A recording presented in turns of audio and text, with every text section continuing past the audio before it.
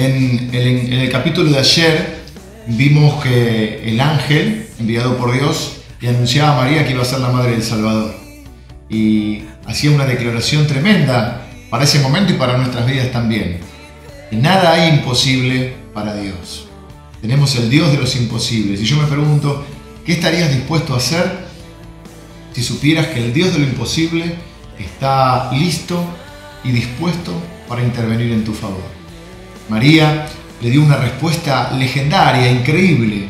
María dijo, he aquí yo soy la sierva del Señor y hágase en mí según tu palabra. Una mujer sencilla de pueblo, con una fe sencilla, pero sincera. Una mujer que sabe muy poco, pero confía en todo. Y ella increíblemente contesta con esa fe, con, esa, con ese milagro de la fe y responde, yo soy la sierva del Señor.